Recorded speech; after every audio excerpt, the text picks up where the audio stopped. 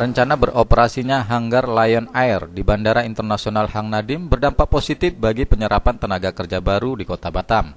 Karena dalam mendukung operasional hanggar Lion Air membutuhkan sekitar 4.200 tenaga kerja.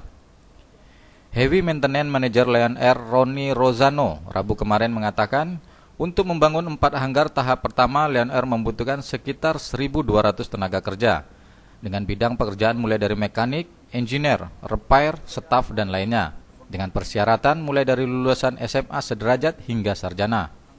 Menurut Roni, tenaga kerja baru yang memenuhi syarat dan masuk Lion Air akan mendapatkan pelatihan-pelatihan di bidangnya. Lion Air akan konsisten untuk mengutamakan tenaga kerja Indonesia dibanding tenaga kerja asing. Lion itu lebih bangga sama bangsanya sendiri dan kita alhamdulillah sampai saat ini tidak ada bule sama sekali sini jadi yang mulai dari engineering system tuh macam-macam ada anak ITB di situ, ITS semua di situ untuk engineering. Terus di lapangan ada yang lulusan Curug, ada lulusan itu semua ada. Terus saya jujur, saya punya asisten manajer. Itu cuma lulusan STM. Roni menambahkan saat ini Lion Air sudah mengirimkan sejumlah insinyur untuk belajar di perusahaan Boeing di luar negeri. Nikola Samun Mama, STV Batam mengabarkan.